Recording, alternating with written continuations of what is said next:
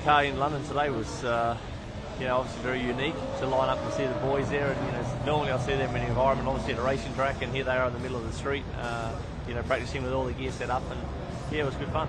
The pressure the guys were under this year with uh, new pit stops, so it was good for them to practice under under pressure a little bit with everyone watching, and uh, yeah, they did a great job. This morning here, Friday morning, was an absolutely fantastic experience in the middle of London. I don't think I've ever, ever tried to stand in front of Big Ben ready for a pit stop before in my life, and I don't think I will again. After the crash on the weekend, everything's fine.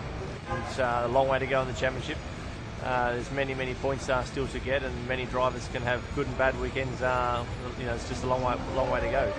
I enjoyed it. I think all the team did as well. You know, to uh, to be able to drive the F1 car down here was uh, was sensational.